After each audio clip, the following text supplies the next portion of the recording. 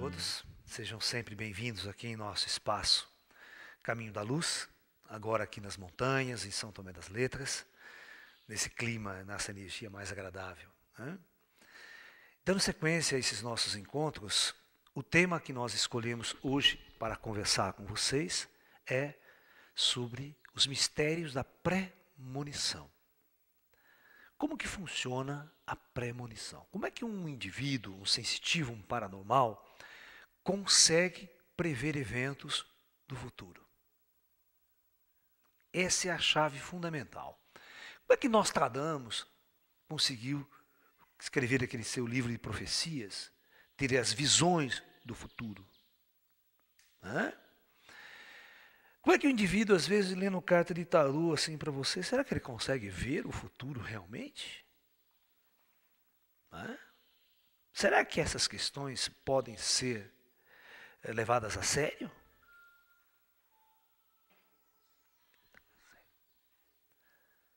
Então vamos analisar esse aspecto, ok? Então, primeiramente, o que, que é premonição? Então, a palavra premonição significa ter uma visão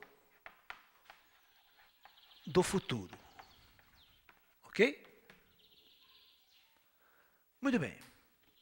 A questão fundamental aí é a física, a ciência até a física quântica, a ciência em geral, existe uma lei fundamental na física que proíbe totalmente que isso aconteça.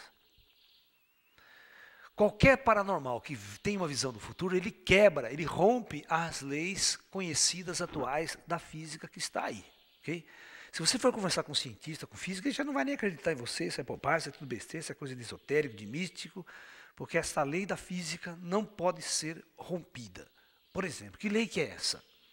É a fundamental lei de causa e efeito.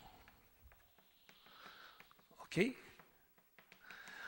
No universo, segundo os cientistas, segundo os físicos, toda, todo fluxo do universo tende a seguir num único sentido, que eles chamam o sentido positivo do tempo. Tá? Você tem o tempo, o nosso relógio, ele flui. Okay? Como se fosse uma coordenada que flui no único sentido. O tempo flui no único sentido. O tempo não volta para trás. Tá? E este ponto crucial do tempo, que nós chamamos de presente, é o ponto onde nós estamos. Tá? É o ponto presente, é o ponto P. E o tempo só flui para frente. Ele não volta para trás. Por exemplo, não existe essa ideia de máquina do tempo e voltar no tempo. Voltar no tempo seria uma incongruência total para as leis da física. Tá? Surgem paradoxos assim inexplicáveis na física quando você volta no tempo. Muitos filmes né, de ficção científica exploram né, essa, essa questão de voltar para o passado, viajar no tempo, a viagem no tempo. Aquele filme, aquele seriado famoso, Túnel do Tempo, lembra da televisão? Agora esse esse filme, né, com com Michael J. Fox aí, né, com De Volta para o Futuro, né, que tem todas essas questões de voltar no tempo, você encontrar com você mesmo, né? você encontrar com a tua mãe, sabe, aquela coisa toda, entendeu? Esses esses paradoxos que são insolúveis na questão, né, da física. Se você voltasse no tempo, eu mato minha mãe. E aí, como é que fica eu?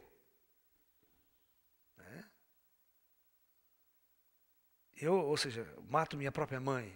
Você está entendendo? Como é que fica a relação futura? Eu vou deixar de existir? Como é que o universo vai, vai se comportar? Então, para que isso não aconteça, porque o universo não desabe, para que todas essas questões não desabe, é como se esta fosse uma impossibilidade científica física. Você não pode voltar. Não existe viagem no tempo no passado. E da mesma forma que não existe uma viagem no tempo para o passado, também não pode existir uma viagem no tempo para o futuro. Ok? Por quê? Porque existe uma incongruência sim. Como é que o tempo flui? Como é que as regras do tempo fluem? Como é que o indivíduo pode ver? Né? Então, na verdade, essa lei de causa e efeito, ela diz o seguinte: o universo, as coisas funcionam nesta ordem. Olha a ordem que dá. A ordem do universo é assim. Ok?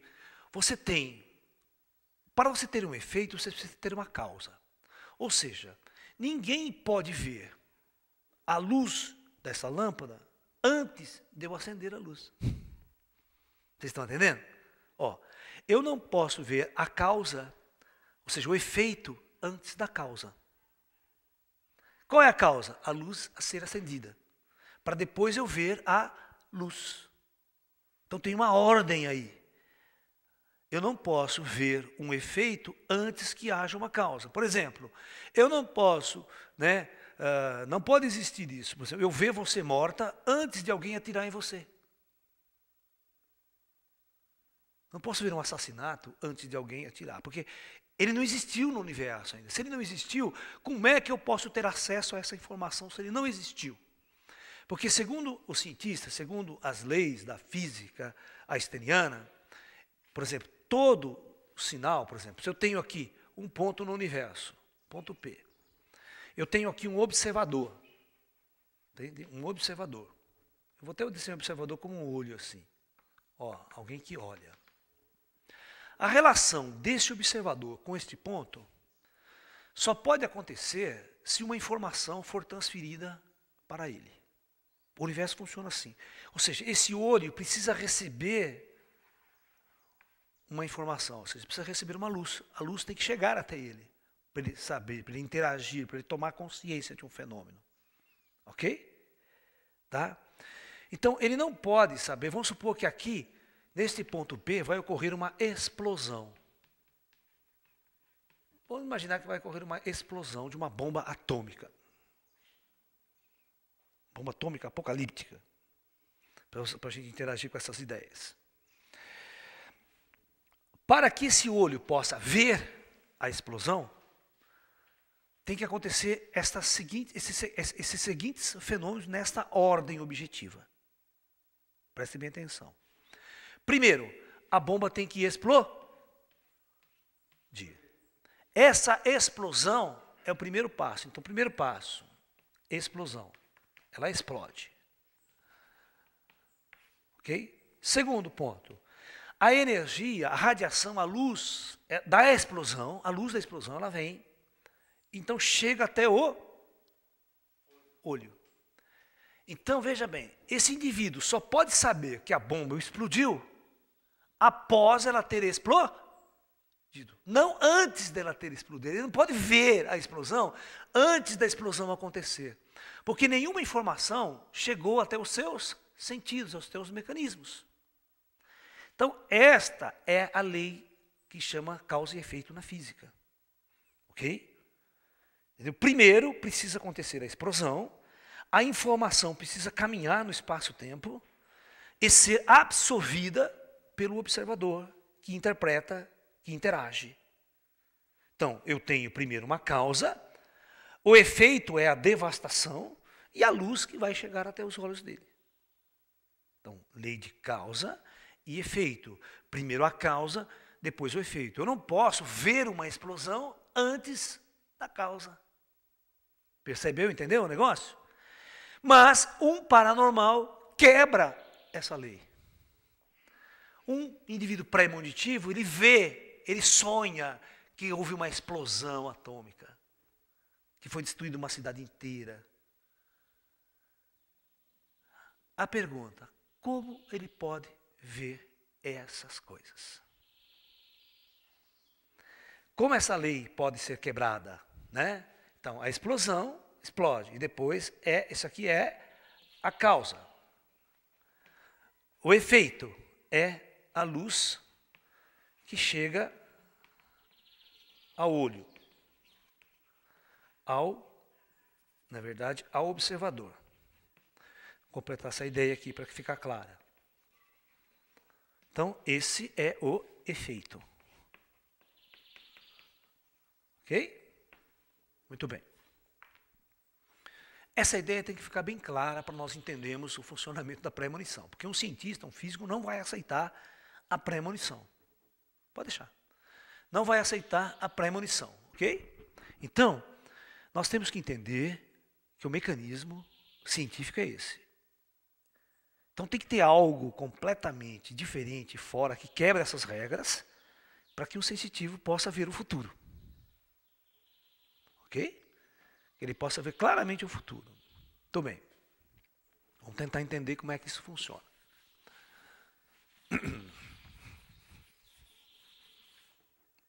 Tá? Muito bem.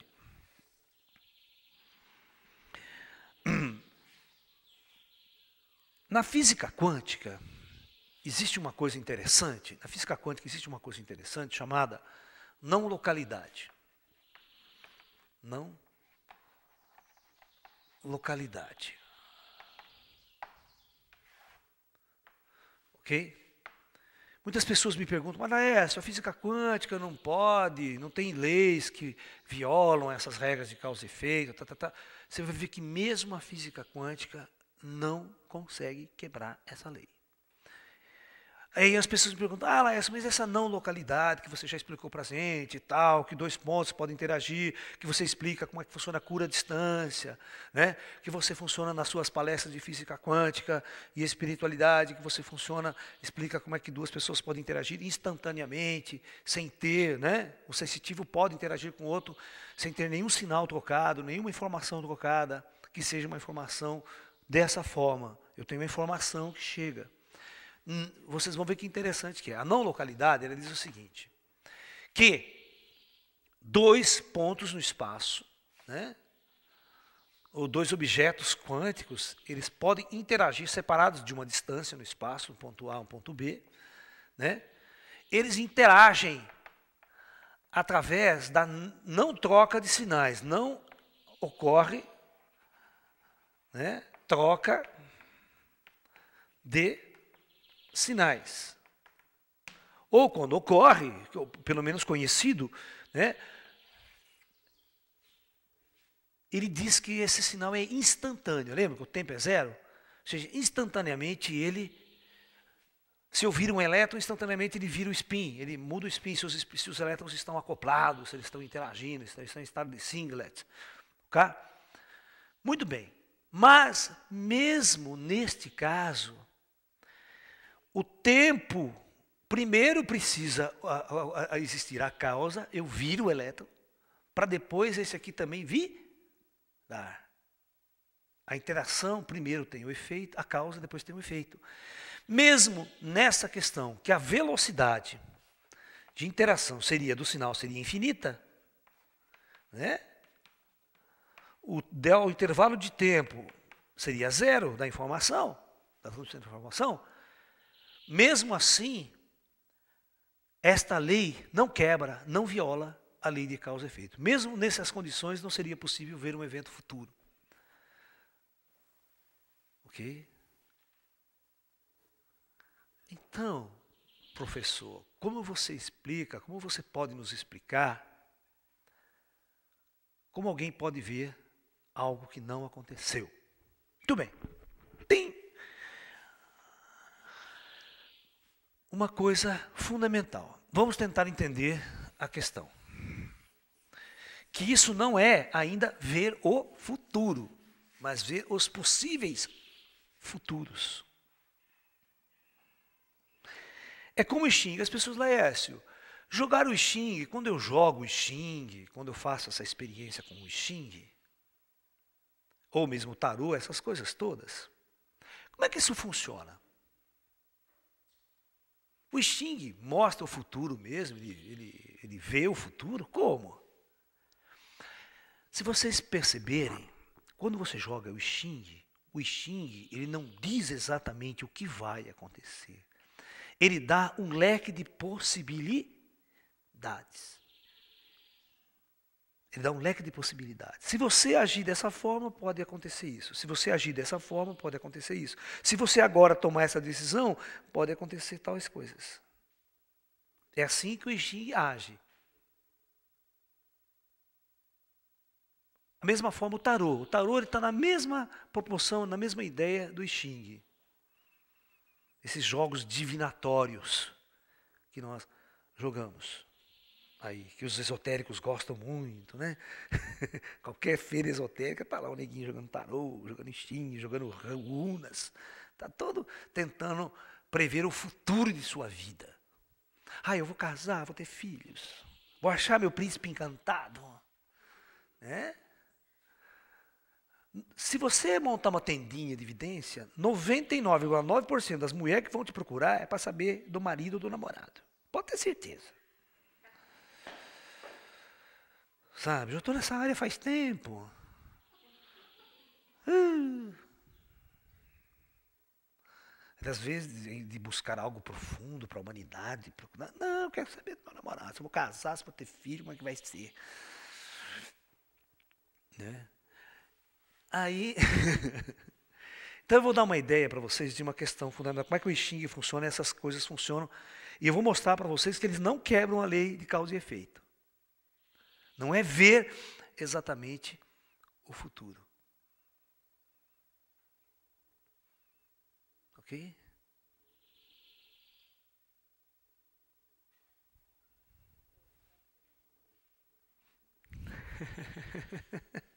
Sentiu também, né? Então não sou só eu. Então vamos lá. Eu vou dar um exemplo para vocês. Aqui, vamos supor que aqui tem uma estrada, tem um rio. Um rio que flui. Ok? Esse rio flui nesse sentido. Ok? Vamos lá, tentar entender essa experiência, para você entender como é que funciona o Xing e os divinatórios. O rio está aqui. Neste rio, existem várias situações. Aqui, nesse trecho, existe uma corredeira, pedras muito forte. Aqui existe uma cachoeira enorme, enorme neste rio aqui, muito grande. Tá ok? Presta atenção. Vamos supor que neste ponto vem um barco navegando neste rio, mas pela primeira vez ele está navegando neste rio. Ele não conhece o rio, não sabe nada do que existe lá na frente do rio. Perfeito? Tá? Muito bem. De acordo com a visão curta, os sentidos curtos desse, balque, desse barqueiro, das pessoas que estão nesse barco, ele consegue simplesmente ver o que está à sua frente, certo? Até onde a sua visão alcança. Ok? Muito bem. No entanto, vamos supor que dentro desse barco aqui, ou parado na margem, ou mesmo aqui, dentro do barco, exista um paranormal ou um sensitivo. Vocês conhecem uma capacidade chamada projeção astral ou desdobramento? Vamos supor né, que ele tem essa capacidade de simplesmente sair do seu corpo e simplesmente ficar num ponto alto, num lugar alto. Ora, não vou nem violar nenhuma lei, ele não está vendo o futuro. E desse local alto, ele consegue ter uma visão muito ampla de todo o espectro do rio, ou de uma distância muito grande do rio. É como se alguém subisse num avião. Ok? E de repente ele olha lá, ele vê, ele vê, olha, naquele trecho ali tem uma correnteza muito forte e tal, e tem uma cachoeira enorme lá daqui, né? E o que seja, então, com, ele, ele mudou de dimensão. Você estava numa dimensão plana, olha, você estava nessa dimensão plana. A sua percepção era onde dava para você chegar. Mas quando o indivíduo assumiu uma terceira dimensão, ele foi para uma terceira dimensão, que nós chamamos aqui do eixo Z, ou, né, altitude, saiu do XY e foi para a altitude, ele tem uma visão muito ampla de tudo, de, de, até do futuro desse barco. Ou seja, ele está olhando Daqui a algum tempo, se ele calcular a velocidade do rio, as coisas, ele pode, ó, daqui tantos dias, daqui tantas horas, pode acontecer tais coisas. Olha, você pode morrer, o barco pode virar, ou daqui tanto tempo, se você não tomar cuidado, vai cair numa cachoeira enorme, vocês vão morrer. Então, há a possibilidade de isso acontecer.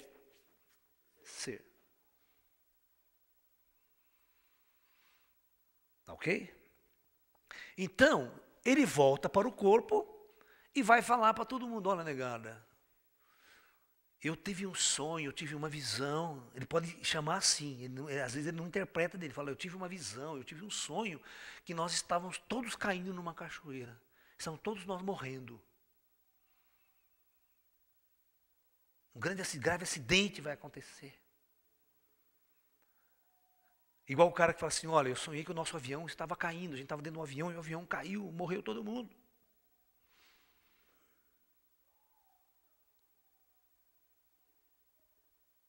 Por que, que ele teve esta capacidade? Por que, que ele sonhou? Ou, ou ele pode trazer essa informação como um sonho. Olha, eu sonhei, eu tive uma visão que. Né? Então, mas veja bem, ele só pode ter esta visão porque ele assumiu uma outra posição em relação às pessoas que estavam aqui. Ou seja, ele mudou de dimensão, ele estava vendo de uma outra dimensão, que é a dimensão, como isso estava operando, o que poderia acontecer lá na frente. Porque neste caso aqui, ele não está violando as leis de causa e efeito na física. Porque ele não diz que você vai fatalmente acontecer. Se esse cara desce e fala, olha, é possível, então o cara já vai com maior cuidado, né? Olha, se tiver qualquer qualquer barulho, a gente já para o barco, hein? Porque então, esta atitude de tomar um cuidado, já muda o seu futuro. Agora, se ninguém avisou ele, se não tem o sonho, se ele não tem nada, ele vai embora na boa, de repente ele perde o controle do barco, pá, pum, cai e morre, realmente. Então, neste caso, nesta situação, eu pergunto: poderia existir no universo outras dimensões na qual a consciência poderia estar observando e conseguisse ver o fluxo do tempo. Ou seja, ele poderia ver este fluxo do tempo lá na frente, em termos da escala temporal?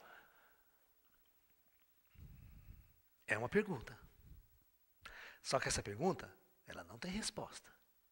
Eu não vou chegar aqui e afirmar para vocês, não, isso realmente acontece. É possível ver. Se é possível ver, significa que os grandes mentores, os grandes mestres que estão no universo dirigindo o projeto Terra, essa coisa toda, saberiam perfeitamente de antemão quais são os destinos da, do universo e quais são os destinos da nossa humanidade Terra, onde ela vai chegar. Ok? Na verdade, eu sou um cientista, eu sou um espiritualista também, que eu concordo muito com certas leis da física, que são leis bem universais, que a gente observa no universo inteiro. Eu acho que a lei de causa e efeito, ela não é quebrada. Nunca. Então, como é que as pessoas podem prever o futuro? Eu falei, só tem um jeito. É isso que vocês acabaram de ver aqui. Mas isso não é bem ver um futuro, é? É ver algo que possivelmente pode acontecer. Não é fatalmente isso vai acontecer. Vocês estão percebendo? De acordo com a atitude. Se você não tomar atitude nenhuma, se você já for um cara cuidadoso, tal, você vai perceber que o rio está ficando calmo, você para. Não vai louco, de louco. Você está entendendo? Então, eu vou tentar. Eu tenho uma outra visão das coisas mas, no entanto, existem pessoas, existem, se você chegar para mim e perguntar lá, Écio, existem esses videntes, esses indivíduos, esses paranormais, que têm as premonições e elas realmente acontecem? Alguma? Eu falo, tem. Então, como é que você explica? Como é que eles viram o fenômeno? Sem violar as leis de causa e efeito.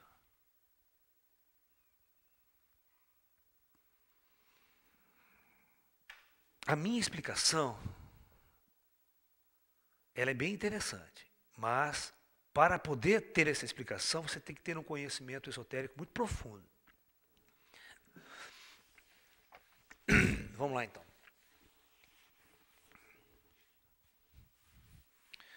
Ah, obrigado. Então vamos lá.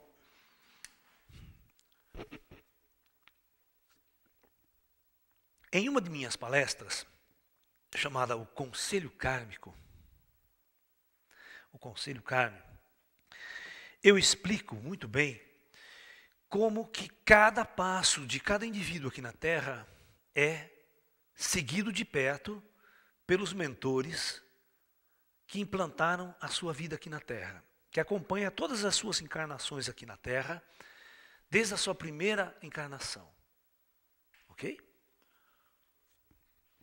Então, nada na vida das pessoas aqui acontece por acaso. Tudo tem uma razão de ser e tudo acontece dentro de uma ordem cósmica maior. Ok? Da mesma forma, nós vamos tentar entender o seguinte. Eu sempre disse a vocês nos meus trabalhos, quem acompanha, já assistiu o chamado Projeto Terra, ou já leu o livro, nós temos essas dimensões. Nós temos a superfície da Terra, onde estão as pessoas encarnadas com seus corpos físicos, nós aqui. Nós temos uma dimensão acima que nós vamos chamar da dimensão astral ou do plano espiritual.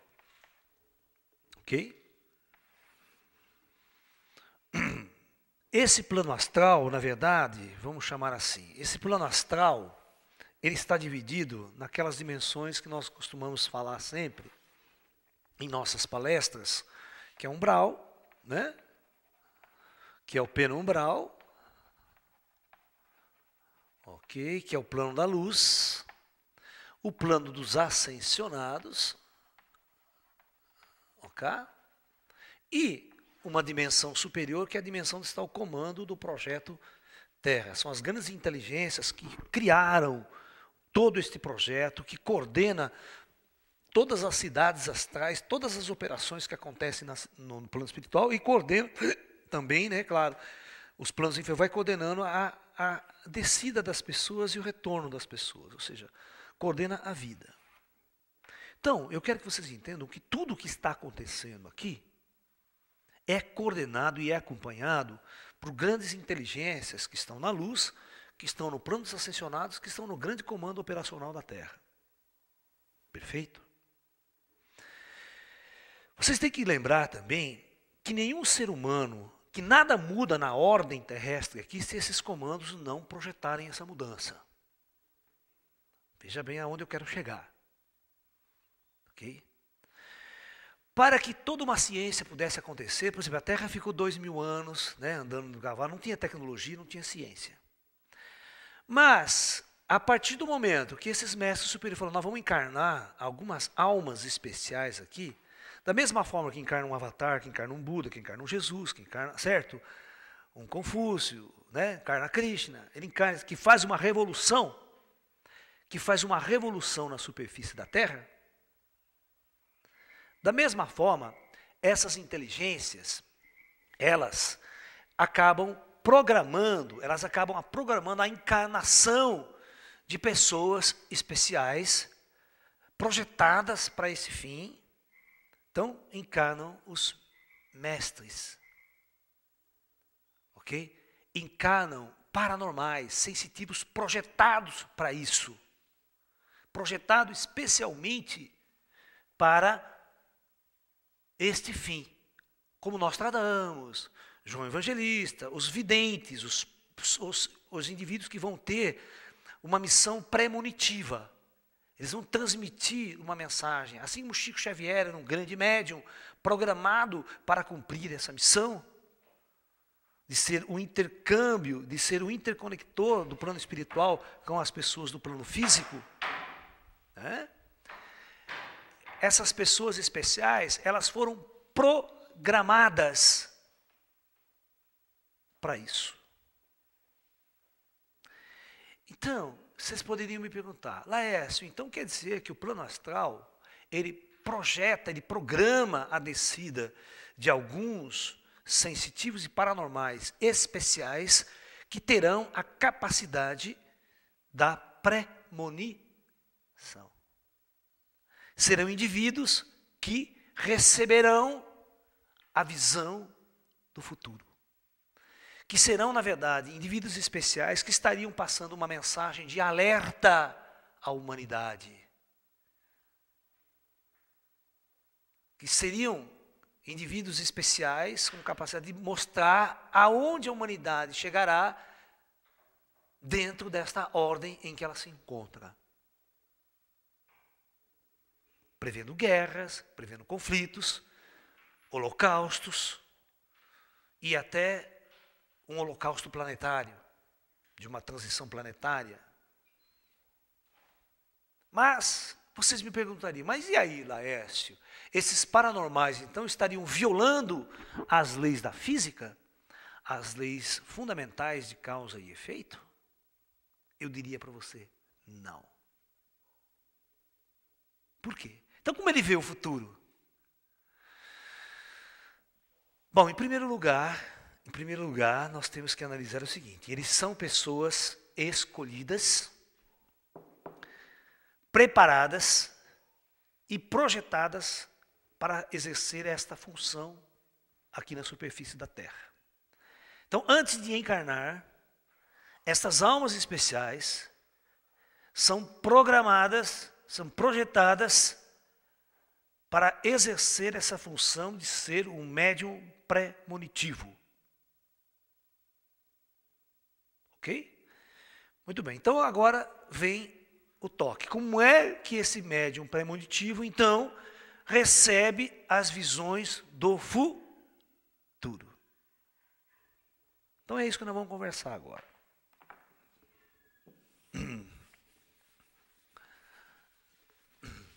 Eu conheço muitos amigos, né, muito sensitivos, paranormais, que têm essa capacidade ou que fazem trabalhos nessa área, são indivíduos hoje conhecidos nacionalmente, no Brasil inteiro, certo? E que está no mundo, alguns deles. Né? Nostradamus são um dos mais famosos, conhecidos no planeta inteiro. Mas eu conheço pessoas agora vivas, que a gente se encontra em congressos, bate-papo, tal, tem livros escritos aí no meio esotérico, tá? Ok? Então, como que você me explica, Laércio, então, que esses indivíduos veem o futuro? Possam violar a lei de causa e efeito, ver fatos que possivelmente poderão acontecer com o planeta, né? sem violar essa lei de causa e efeito. Então, muito simples. Como que funciona? Primeiro, vamos dizer assim: como um vidente vê o futuro? Tá? Essa é a pergunta. Se você consultar um vidente, ele não sabe como funciona isso, mas ele só vai mostrar como é que ele vê. Ele conta o fato. Então, primeiro, sonhos premonitivos. Ok? Então, sonhos premonitivos. Nos sonhos premonitivos,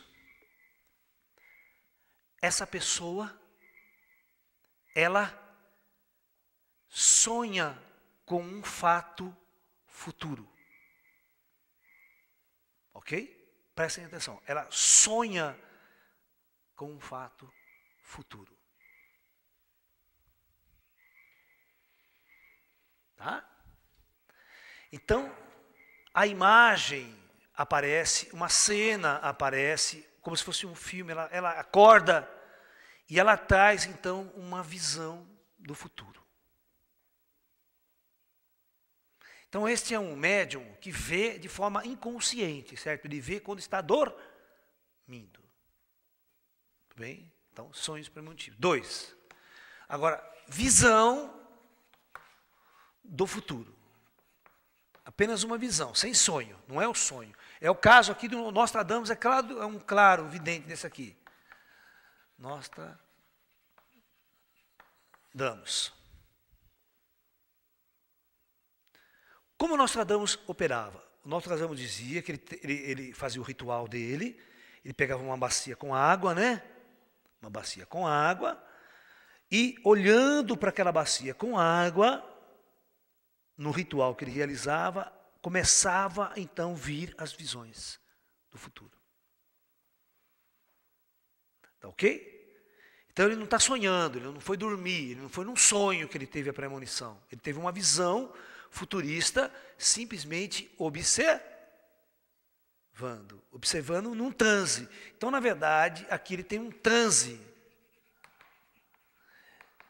Ele entra num transe mediúnico, vamos dizer assim, vamos podemos chamar assim, que favorece com que ele veja, tenha uma visão do futuro. Ele entra em algum lugar, a consciência dele começa a perceber e isto passa como um filme na frente dele. Eu perguntei para muitos amigos videntes que têm essa visão, eles falam: olha, eu tô, de repente eu estou andando na rua, de repente eu estou parado, paro assim nessa situação, começa a vir um filme na minha mente, começa a aparecer aquelas cenas. Tá? Então, são esses dois tipos mais comuns que os paranormais apresentam de sonhos pré-monitivos. O João Evangelista, como é que o João Evangelista via? Da Bíblia lá, do Apocalipse bíblico. Do Apocalipse, né? O João. Como é que o João via? Como é que ele conta a história? Primeira coisa que ele conta é o seguinte: Primeiro, que ele foi arrebatado aos céus, é o primeiro passo. Então significa que ele foi retirado do corpo enquanto dormia. Seja, ou seja, uma projeção astral consciente. Aí o João era levado para uma cidade astral, ele foi arrebatado ao céu, chegando lá, ele vai contar toda a história dele, né? Como que ele chegou, foi recepcionado por anjos, né? Chegou numa cidade astral, tudo pegava fogo, era uma coisa esquisita, tal. Aí ele entra numa sala onde tem coisas tecnológicas, um ambiente que nunca, ele não tem a imagem disso tudo, né? ele não tem a consciência disso. Né? E, de repente, ele conversando com aqueles indivíduos, aqueles indivíduos mostram visões do futuro para ele. Mas como ele está vendo essa visão do futuro? Nós sabemos que tem várias formas, mostrar um cinema, né? O cara que nunca viu uma televisão na vida, nunca viu uma tela grande, um cinema, né? O cara de dois mil anos atrás, certo? Para nós, eu assim, não, o cara pega, pega um projetor, projeta uma parede e começa a ver, como se fosse um filme, né? Tudo acontecendo, aquelas cenas, destruindo a terra, e isso, e guerra. Ele fica absorvido por aquilo, só que ele não entende. Imagina um cara de dois mil anos atrás, você mostra um filme futurista com um avião, com um jato, com isso, com tudo aquilo veio uma bomba atômica. então, como que ele vai trazer essa informação para o seu, seu nível cultural, a hora que ele acordar aqui no corpo, e vai tentar escrever isso no papel? Por isso que os termos que ele vai usar são termos da sua cultura. Nós temos dois problemas sérios para quem vê o futuro. Principalmente quando o indivíduo está distante da cultura do fato que vai acontecer. Nós tratamos esse problema também. Ó, o, a, o livro de Nostradamus foi escrito em 1555. Ou seja, a arma mais avançada que se conhecia naquela época era arco e flecha. Você está me entendendo? Nem, as armas de fogo estavam começando a se desenvolver, aquela coisa toda. Nem tinha ideia que se desenvolver tiro, né? certo? Pólvora, uso da pólvora, aquela coisa toda. Então você imagine um indivíduo que tem uma visão do futuro nessa época, ele vê aviões no céu, vê jatos, ele vê bombas.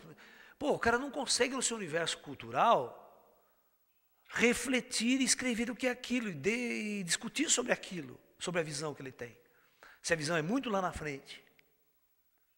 Se ele tem uma visão próxima, como muitas visões que o Nostradamus teve, né? São visões próximas, aí que ele faz aquela descrição daqueles fatos, né? Do rei que recebe a lança no olho, aquela coisa toda, né?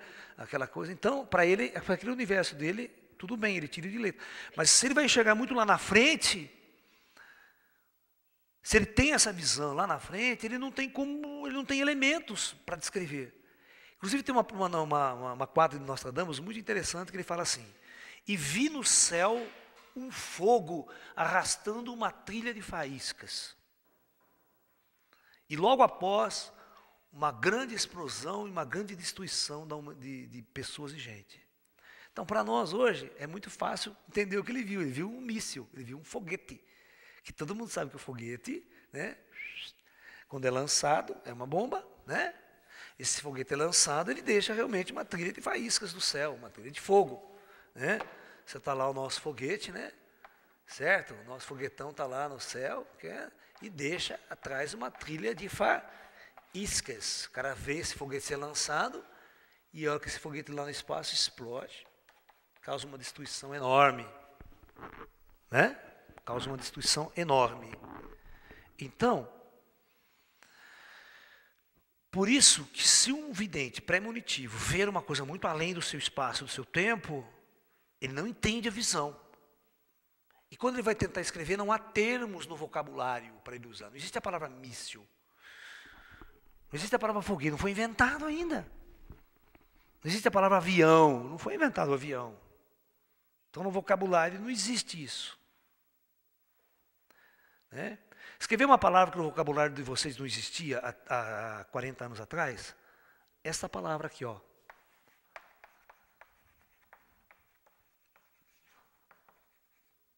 Alunissagem. Não existia, ninguém tinha descido na Lua antes. Quando ninguém tinha pousado na Lua, ninguém podia ter feito uma alunissagem. Porque vocês conhecem aterrissagem. aterrissagem vocês conhecem. Uma nave aterriza, um avião aterriza. Mas como que um objeto vai alunissar? Então, só em 69 que nós vimos a primeira alunissagem. Então, essa palavra foi inventada. Você vê, o vocabulário ele começa a ser desenvolvido a partir do momento que as, os fenômenos começam a acontecer. Você dá nome aos objetos, às coisas, aos fatos, às ideias. Mas imagine antes, né, para o indivíduo, um indivíduo ver um avião voando, uma velocidade incrível, um jato. Quantos videntes do passado não dizem o seguinte, né, que os homens se deslocariam nos céus feito flechas incandescentes? Tem uma vidente, uma vidente, não sei se ela é russa, parece que ela é russa. Ela fez a seguinte previsão. Ela fez essa previsão em, em 1300, lá vai pancada.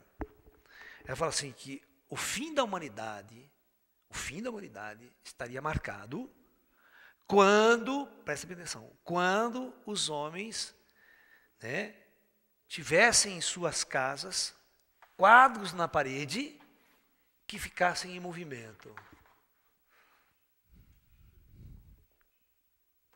É o que ela viu. Ela viu a televisão como um quadro na parede. Hoje vocês sabem, as TVs grandes e tela grande, um quadro na parede. Ela é dessa espessura, fininha, você põe na parede, está lá. Essa mulher, naquela época, ela viu o tempo da destruição, o tempo do final dos tempos, chamado final dos tempos, né? Mas ao mesmo tempo ela começou a ver um monte de informação, né? Imagem. E uma imagem que mais ela conseguiu entender foi quando ela viu uma televisão, um quadro na parede passando imagens. E como é que ela vai, ela vai usar a palavra televisão? Não tem, não, não existe isso. Não, então ela vai, ela fala assim, ó, quando vocês virem um quadro na parede que estiver em movimento,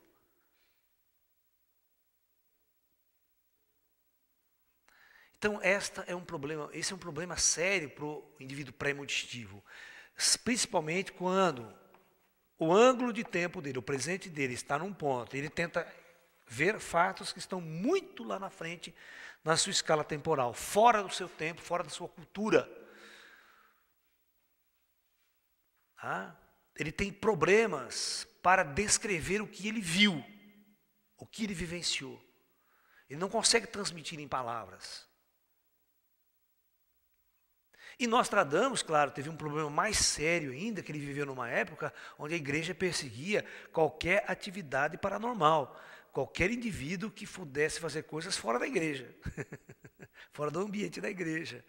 Então ele precisou escrever, além de não entender os fatos futuros com uma certa precisão, ele teve que escrever de uma forma escondida, velada, aqueles fatos que ele possivelmente estava vendo. Então, você vê que o pré-monitivo ele tem dois problemas. Ele tem que uh, interpretar o que ele viu. E a interpretação passa pelo seu crivo cultural. Então, ele pode cometer erros gravíssimos na sua interpretação.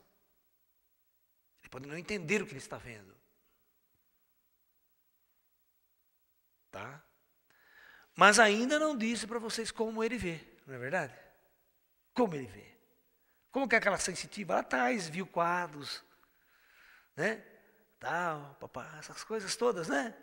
Como que ele podia, ela pode ver uma televisão antes da televisão existir? Quebrou a lei de causa e efeito da física?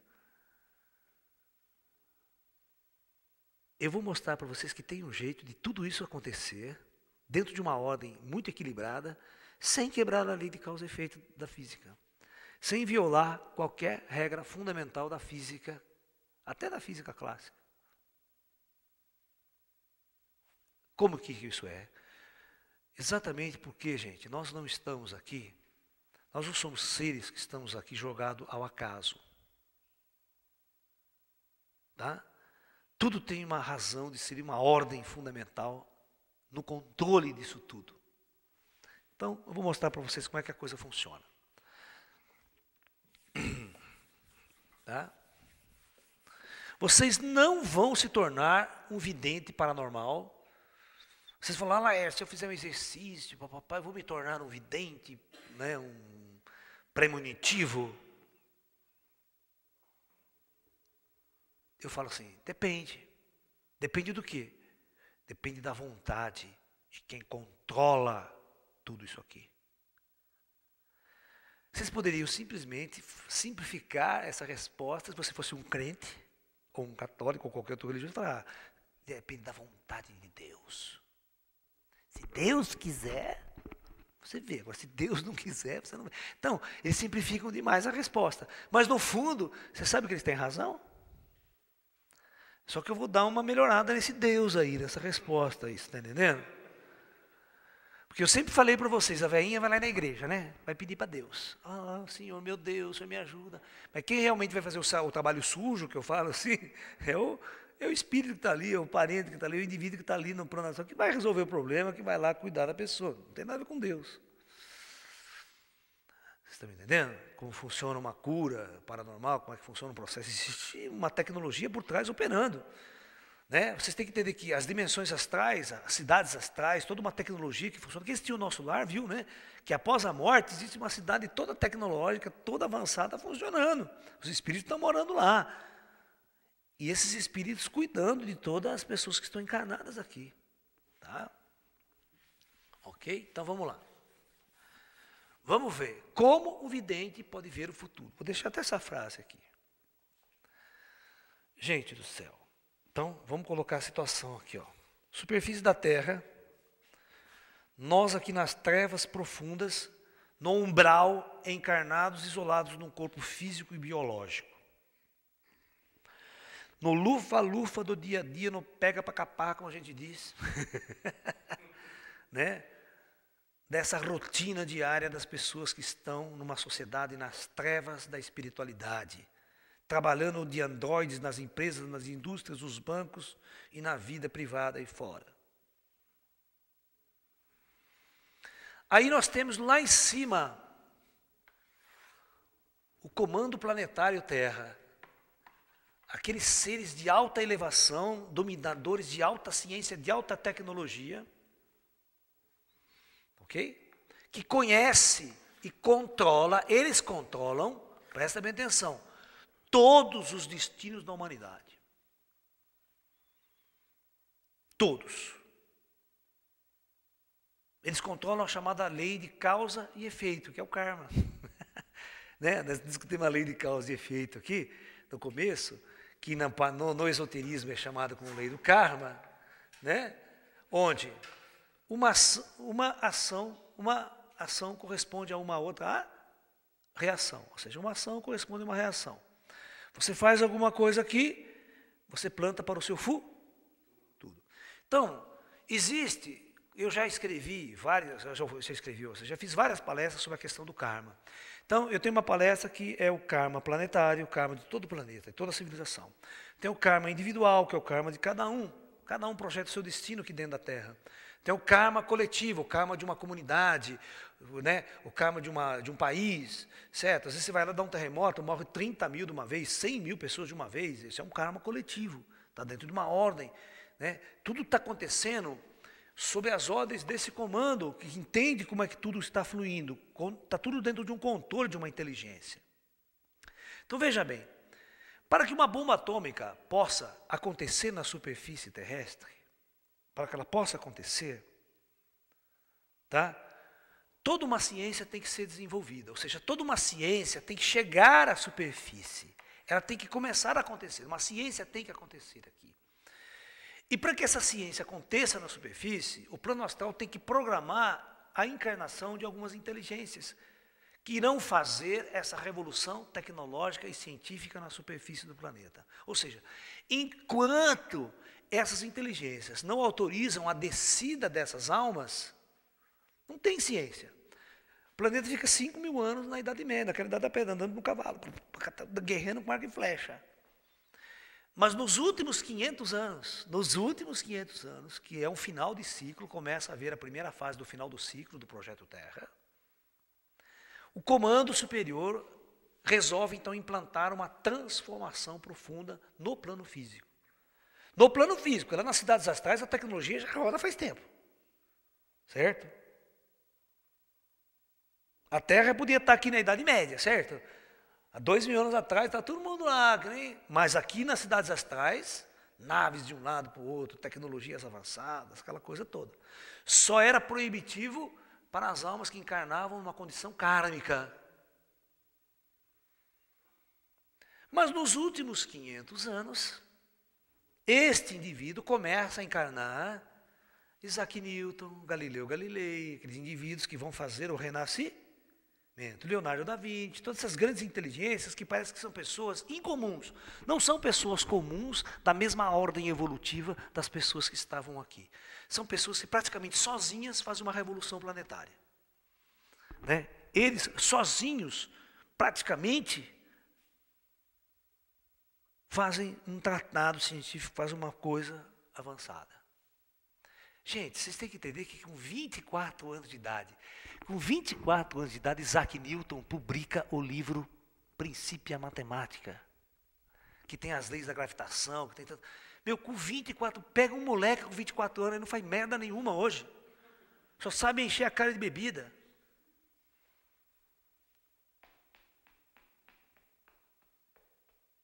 Vocês sabiam que com 25 anos Einstein publica a teoria da relatividade? Você sabia que com 25 anos ele escreve a teoria da relatividade? São pessoas comuns? Você conhece alguém do teu lado que faz isso? Ou você conhece a maior parte do ser humano na merda mesmo, com cabeça de vento? Então você percebe que são pessoas especiais, não são pessoas comuns que encarnaram. são almas muito adiantadas, muito avançadas, que recebem a missão de receber. E você pergunta para Einstein, qual é que você descobriu? Não, eu estava lá numa intuição, tive uma intuição.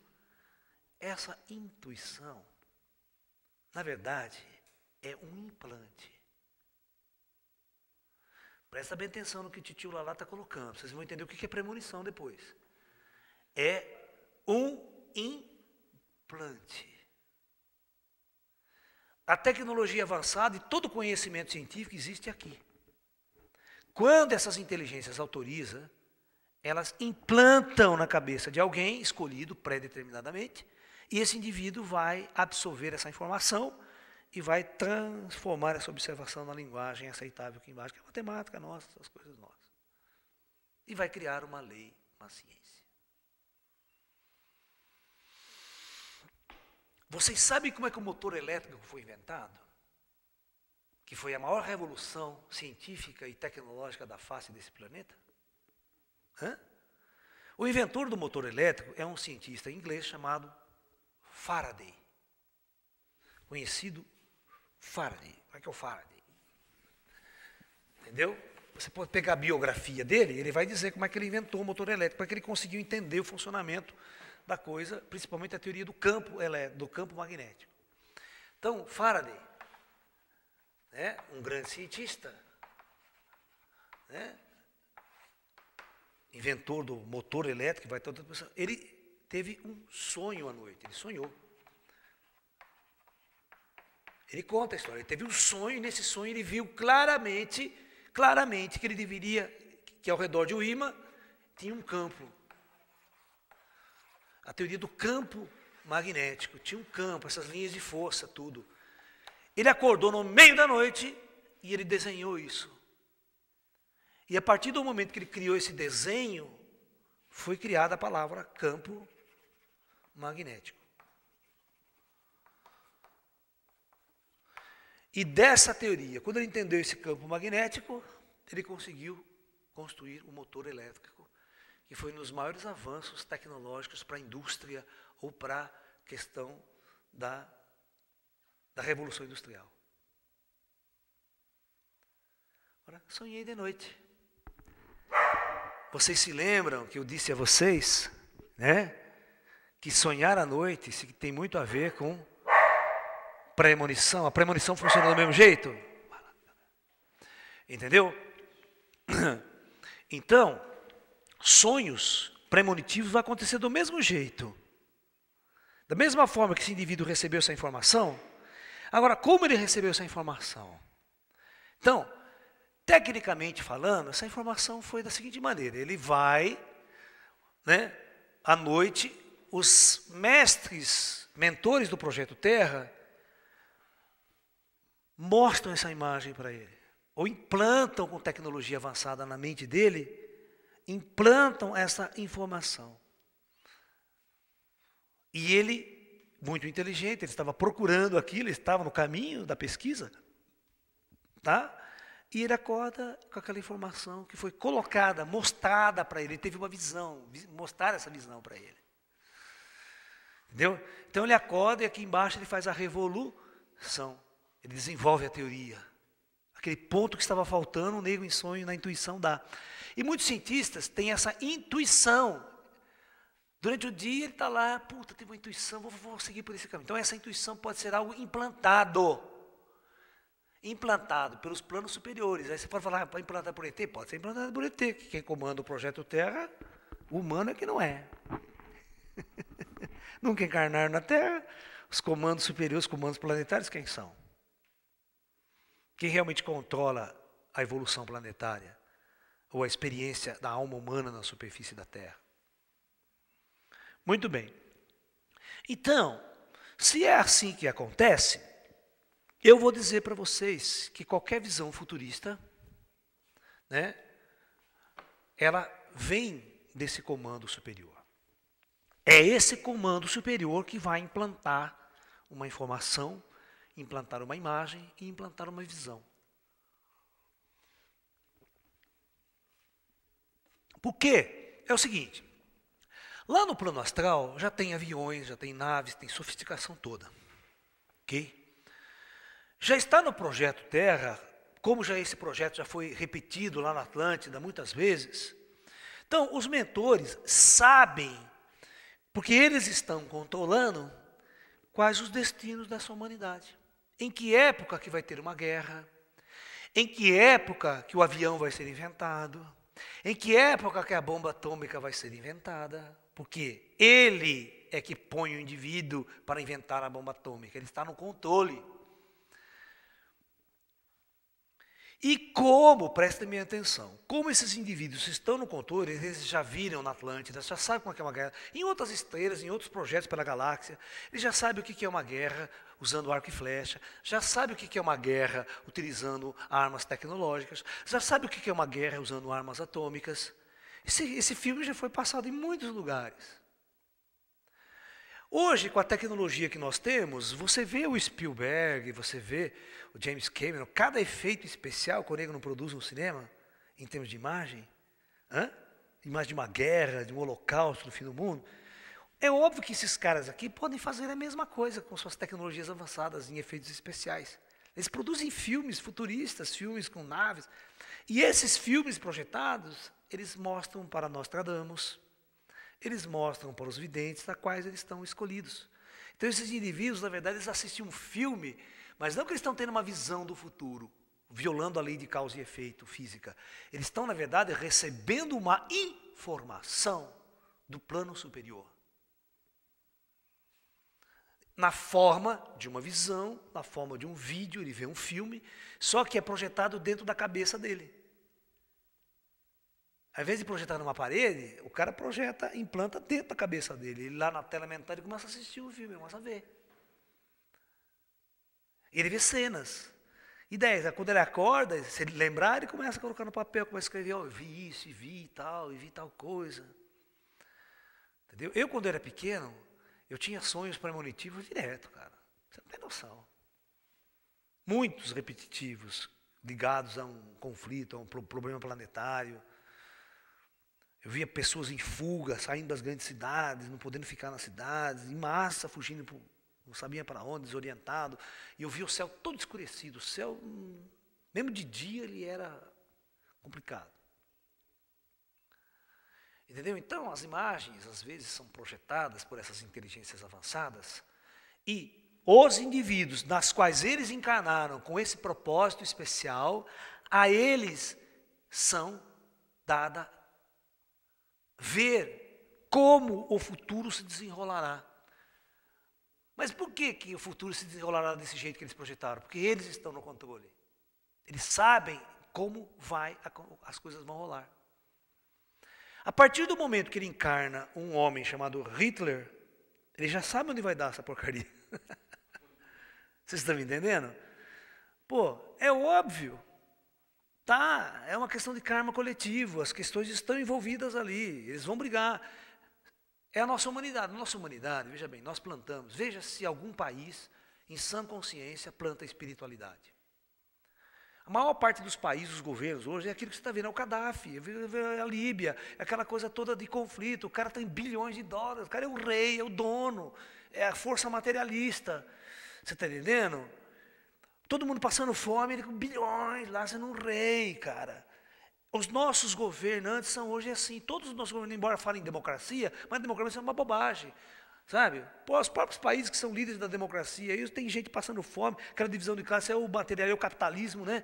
Aquele imperialismo mesmo, certo? Onde só quem está no poder tem grana, capacidade e poder. O resto é escravo, é androide, trabalhando para manter esse sistema lá em cima, trabalhando nas indústrias, que nem escravo, de, que nem louco, produzindo, produzindo, produzindo, produzindo para o consumo. Então veja bem, não há espiritualidade, não há consciência espiritual. Se a humanidade inteira planta isso, ela vai colher esse conflito. A guerra é inevitável. Os conflitos são inevitáveis.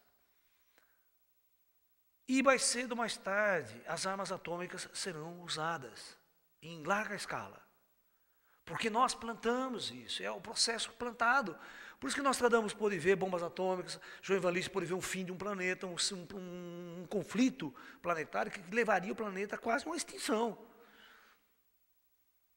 Mas porque essas forças estão no controle, elas sabem onde vai dar, elas permitiram que a arma atômica se manifestasse. E permitiu que os países construíssem armas atômicas para destruir a Terra mais de 100 vezes.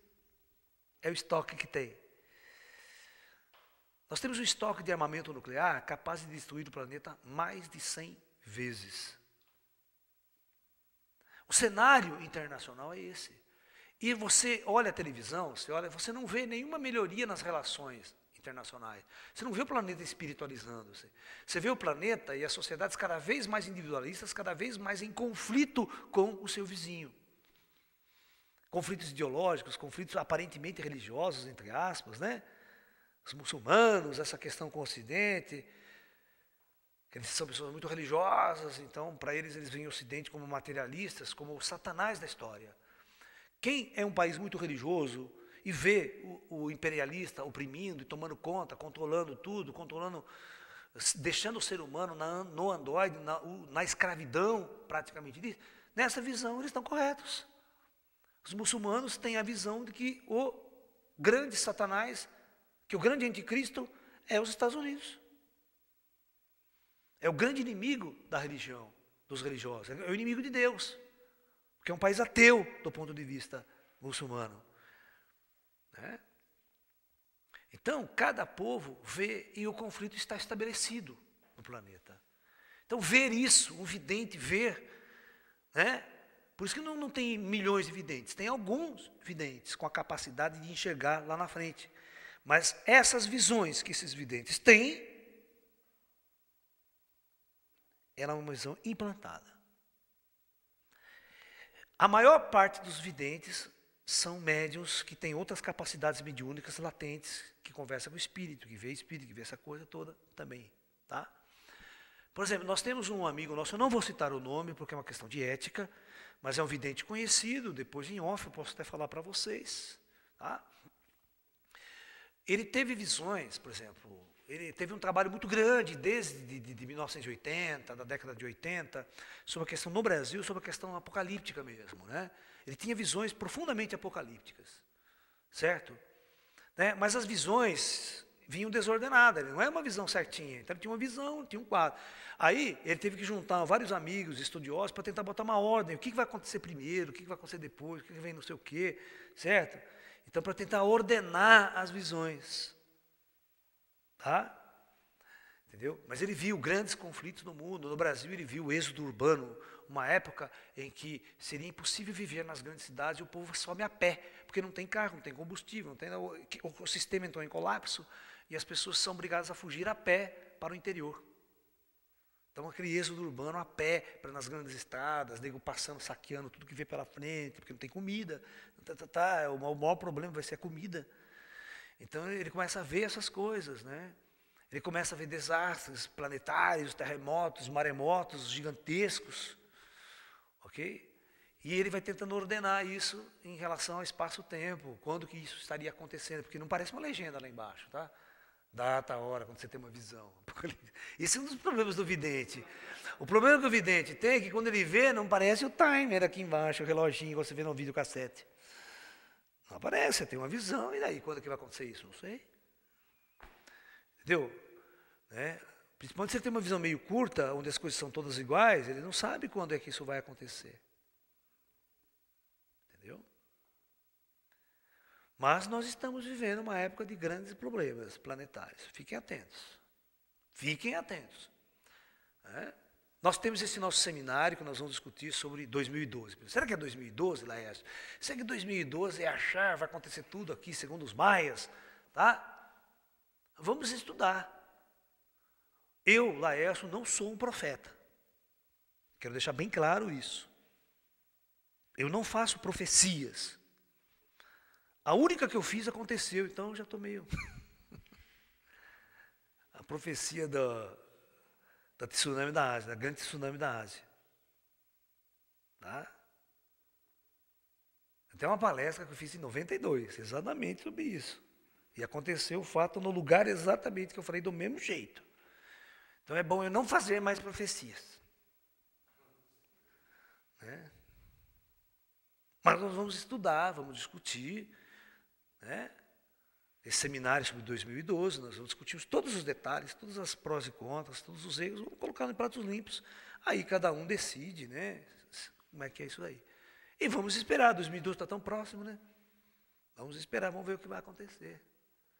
Ou uma grande pizza, ou né? O começo de um processo catastrófico para o planeta, mas vamos analisar.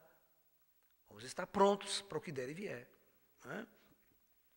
Então, na verdade, deste nosso ponto de vista, que nós expomos para vocês agora, que cada indivíduo que é um vidente pré-monitivo, ele é um indivíduo programado pelo alto para receber essas visões. Não que ele veja o futuro violando as leis de causa e efeito. Não, ele vê o implante. Implantam nele uma imagem, implantam um filme, implantam um sonho onde ele, esses indivíduos que sabem mais ou menos essa ordem evolutiva podem plantar toda uma coisa que realmente é a grande possibilidade de ocorrer, porque eles estão no controle. Ver a Segunda Guerra Mundial, ver a Primeira Guerra Mundial, como Nostradamus viu, e mostrar para ele a guerra como se fosse um filme de uma guerra, ok? Perfeito, eles têm tecnologia para isso, já aconteceu guerra na Atlântica em outros lugares, que tem o um filme lá até para mostrar que é mais parecido. em outros mundos, em outros planetas. E os efeitos especiais da tecnologia deles são fantásticos. Né? Ele cria essas imagens futuristas da probabilidade que, que vai ser mais ou menos dentro dessa, dessa coisa. Então ele via aviões, via naves de guerra, objetos, certo? Porque essas inteligências Pode ter outros planetas que essas guerras já estejam acontecendo. Entendeu? Então eles sabem, já filmaram, já tem as imagens, já tem a tecnologia, traz aqui e mostra para as pessoas. Mostra para os videntes, olha, vai acontecer assim, ó. Porque nós estamos no controle. Nós vamos permitir que esses conflitos aconteçam porque são de origem kármica. Você plantou, a humanidade plantou, a humanidade construiu a bomba, se ela construiu a bomba, ela gastou milhões de dólares para construir essa bomba. E se é um investimento que deixou de ir para a criança, que deixou de ir para a educação, que deixou de ir para hospitais, sabe? simplesmente para alimentar essa indústria de armamentos bélicos, essa indústria bilionária do armamento bélico, das armas. Isso gera um karma. E a arma volta contra você. Essa energia se volta, ela é fundamental de, do karma de ação e reação. Você cria isso, mas cedo ou mais tarde você colhe isso também. Tá? Nós sabemos que ao longo da história, todos os grandes impérios que dominaram o mundo, como Roma, né, a Grécia, os impérios que né, dominaram o mundo, depois teve a sua total decadência e a sua destruição e a sua invasão por outros povos, né? Sempre a decadência por invasão. Roma foi invadida pelos bárbaros, né? E aquela coisa toda destruiu todo o Império Romano, toda aquela riqueza, toda aquela pomposidade, aquele poder. O Império Americano vai acontecer a mesma coisa, ele vai cair também. Entendeu? A história é assim. E cai com suas próprias armas, né? A forma como ela criou as coisas. É engraçado que o Império Romano, né, ele teve umas estratégias militares. Quem estuda isso, quem é militar sabe disso. Que o Império Romano ele criou várias técnicas e várias estratégias militares para invadir o seu, seus inimigos. Eles, eles eram dominadores, dominavam mesmo. Aí os caras aprenderam com os romanos e usaram as mesmas técnicas para depois destruir o Império Romano lá na frente. tá? Então a coisa se volta contra você. É o que eu falo, os Estados Unidos inventou a primeira bomba atômica. Certo? Só que foi isso foi em 45. Mas em 1949, a Rússia explode a sua primeira bomba atômica. E engraçado, com os planos todos roubados dos Estados Unidos por espiões. Tá? E, ao longo do tempo, todos os outros países começaram a desenvolver sua tecnologia nuclear e criar suas bombas. Ok? Então, todo mundo está se armando nuclearmente. O Irã está se armando nuclearmente. Todos os países estão se armando nuclearmente. Isso não pode dar boa coisa. Coreia do Norte explodindo suas bombas atômicas. As divergências econômicas são grandes. Agora, os Estados Unidos não vai poder mais impor. Um país que tem uma tecnologia nuclear, não dá para os Estados Unidos chegar, não, eu vou impor minha tecnologia, eu vou invadir o seu país, vou tirar esse presidente. Não vai, não vai tirar esse presidente. Porque o preço disso é muito caro. Os caras enviam umas 10, 20 bombas atômicas no território americano, isso aí é um caos. São milhões de pessoas mortas. Ninguém quer isso a toco de banana. Você está me entendendo? Então é um problema. Então hoje em dia nós estamos num cenário nunca visto na nossa civilização antes. Então esse cenário é um cenário altamente complicador. Tá? As armas nucleares e a tecnologia moderna fazem com que o evento da guerra seja algo inexplicável por vocês. Vocês não entendem o que é uma bomba atômica. Vocês não sabem o que é uma bomba atômica. Vocês não têm noção do que é uma bomba atômica. Só vem filminho, mas nunca passaram por uma bomba atômica. Tá? Só o Japão sabe o que é uma bomba atômica. Entendeu? Só o japonês que viveu lá e que passou pela situação. Mas as armas de hoje fazem a bomba atômica de Hiroshima ser traque, ser um traquezinho. Das armas desenvolvidas hoje. Tá? Então, na verdade, todos os paranormais, clarividentes, que preveem o futuro, que têm os, as vidências premonitivas, são indivíduos escolhidos pelo alto para receber essa informação. Não estão violando lei de causa e efeito, não estão vendo um futuro né, uh, pior ou catastrófico. Porque, na verdade, é muito engraçado, é muito engraçado. Pode fazer uma pesquisa. Nenhum vidente premonitivo vê coisa boa. Por que, que ele só vê o pior? A maior parte deles. Porque, geralmente, o sofrimento, está muito ligado a um impulso de energia, a um pulso de energia muito forte na consciência do povo, na consciência do arquétipo, que a gente chama coletivo, vamos até imaginar isso aí. Hã? Mas, então, na verdade, o que mais toca o ser humano, o que mais movimenta a energia no ser humano é a dor. A alegria não movimenta o ser humano. Vocês sabiam disso? Nós somos uma raça muito esquisita. A dor nos movimenta muito mais do que a coisa boa. Eu vou dar um exemplo para vocês. Como funciona a psique humana. A psique humana ela é altamente negativista, como Freud já dizia. Se eu colocar uma menina aqui na frente, eu vou colocar uma menina aqui na frente, presta atenção. Coloco uma menina.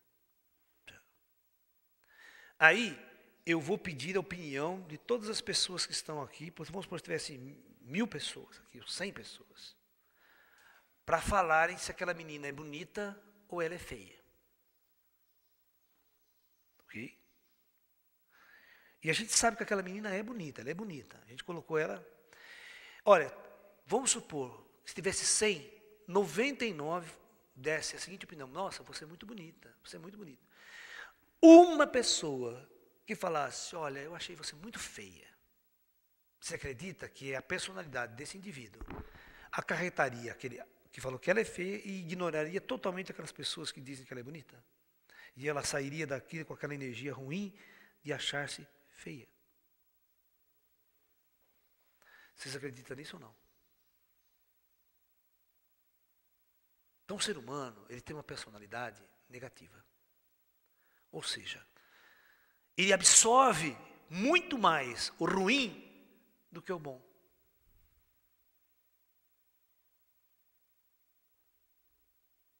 Por isso que ele tem uma tendência de ver nas suas premonições, ou bastão mostrar o ruim. Por quê? É isso que vai movimentar ele. É isso que vai criar um movimento nele de mudança e transformação. Se você mostra um futuro bonito, uma coisa boa, ninguém se movimenta para mudar nada do que está presente hoje. Vocês me entenderam como é que funciona a coisa? Então o ser humano tem essa tendência de criar e alimentar o negativo. E o negativo é então o, como esses, essas inteligências sabem como funciona a psicologia humana, a psique humana, então eles usam essa ferramenta de implantar o negativo. Que o negativo pode criar a energia de movimento. A energia de tomar uma ação, de tomar uma atitude. Olha, vocês tomem cuidado que uma coisa muito ruim virá para a humanidade. Tem um vidente muito famoso, um vidente muito famoso que que tinha suas vidências num transe mediúnico. Era o Edgar Cayce. Você já ouviu falar do vidente Edgar Cayce? Muito famoso, um vidente americano nos Estados Unidos. O Edgar Cayce, ele faz várias previsões, né? Ah, ah apocalípticas. Só que ele começou a dar algumas datas. Eu não sei como é que vidente pode dar datas se você não vê data, você não vê calendário, você não vê nada nas suas visões. Certo? Então Edgar Cayce tem uma previsão muito forte dele.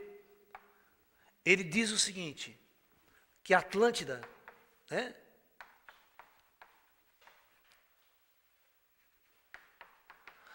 Que Atlântida voltará à superfície. Pensou, gente? Voltará à superfície da terra. Ela está afundando, fundo do mar, né? Aí todo mundo vai descobrir que essa cidade realmente existiu. Só que para essa, essa profecia acontecer, você reze para que ela não aconteça. Vocês rezem para que ela não aconteça. Porque para que ela aconteça, o fundo do mar, onde ela se encontra, tem que se elevar, às vezes até milhares de metros. E essa mudança geológica significaria uma catástrofe planetária sem precedentes. Sem precedentes. Gerando ondas, tsunamis, de questões de, aí de quase mil metros de altura. Então seria uma ação geológica tão. E ele vê isso, ele vê essas catástrofes geológicas. Inclusive, um cientista entrevistando, um repórter entrevistando Edgar Cayce, para ele falar sobre o futuro, porque essas visões ele vai ter assim em 1947, 45, depois da Segunda Guerra Mundial. Tá? Então perguntado para ele, perguntaram assim para ele, Edgar Cayce, como que será, né, o próximo milênio, né? Como será o terceiro milênio? Você pode falar alguma coisa das invenções, da tecnologia? O que, que, que vão rolar no terceiro milênio? Diz que ele para, quieto, e diz assim para o repórter: eu não estou bem certo de que haverá um próximo milênio para essa humanidade. Por que, que ele responde assim? Porque ele está vendo que existe um processo. Olha, a linha do tempo vai vindo, certo, gente? Ó, a humanidade vai tendo esse desenvolvimento, tem uma guerra aqui, outra guerra ali. Sabe? Só são oscilações, mas a humanidade continua. Você vê, Segunda guerra, Primeira Guerra Mundial destruiu o mundo, depois a humanidade continuou. Segunda Guerra Mundial, uma oscilação, depois continuou na mesma direção. Não houve mudança de direção. São guerras que não mudaram a direção da humanidade. Ou seja, a humanidade ficou do mesmo jeito, materialista, fazendo indústria, fazendo conflito, países, suas fronteiras, a religião zero, tal, certo? Mas todo mundo, o Nostradamus, ou o Edgar Cayce também viu que aqui existe um ponto, um momento, que até o existe um livro aí famoso chamado Ponto de Mutação, né, do Fritjof Capra, né? que ele vai falar exatamente disso, que vai existir na civilização um ponto que vai fazer com que a civilização, depois disso, mude completamente a ordem estabelecida. Após esse conflito, após esse problema, a humanidade não vai sair desse problema e continuar no mesmo curso. Você vê, você pode ver que a humanidade, gente, ao longo da história, desde os milênios, ela teve esses conflitos. E os conflitos eram regionais. Só a partir de 1500, depois a, começou a globalização, que esses conflitos começaram a se tornar planetários, ou seja, envolvendo o planeta. Certo? Por isso que a gente chama de Primeira Guerra Mundial, que foi a primeira guerra que envolveu o mundo. O mundo, antes não. As guerras eram regionais, eram localizadas, é uma guerra aqui, uma guerra civil, país contra país ali vizinho. Mas foi a primeira vez na história que se envolveu o mundo, pode deixar ela aí, que envolveu o mundo, que envolveu o planeta. E nós tivemos uma segunda, certo? Mais destrutiva, mais tecnológica. E é óbvio que este ponto aqui tem a ver com a Terceira Guerra Mundial, onde se usará armas nunca antes usada pela humanidade. E isso vai fazer com que depois disso, o comando astral do Projeto Terra, que programou isso, não deixe que os sobreviventes e o pós continuem do mesmo jeito, na mesma direção. Só restaurando, né? Sobreviventes, aí volta a ordem planetária do mesmo jeito, mesmo conflito. Não, isso não vai acontecer. Isso aqui, este ponto de inflexão, chamado ponto de mutação, ponto de mudança, vai acontecer algo nunca visto pela humanidade que vai mudar profundamente os destinos da civilização. E é este ponto chave que grandes médiums paranormais, videntes e premonitivos estão focados. Essa é a chave.